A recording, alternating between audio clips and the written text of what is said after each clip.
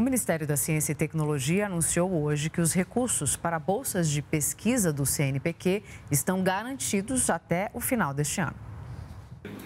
O ministro Marcos Pontes explicou que uma suplementação orçamentária no valor de 250 milhões de reais vai garantir o pagamento das bolsas do CNPq a 84 mil pesquisadores. É uma portaria que já está para ser assinada agora pelo Paulo Guedes, é, essa semana, eu espero já, liberando 157 milhões.